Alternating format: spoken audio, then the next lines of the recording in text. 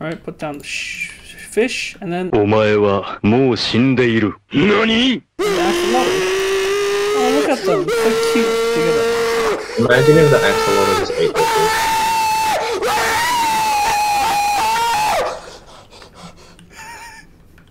What? You know how you just said, imagine the axolotl eating the Did fish? it? Did it? Yeah. it just fucking ate it! What the fuck? You're like, oh, they look so cute. And I'm like, imagine a bit ate it. Jesus Christ, they actually just fucking destroyed it.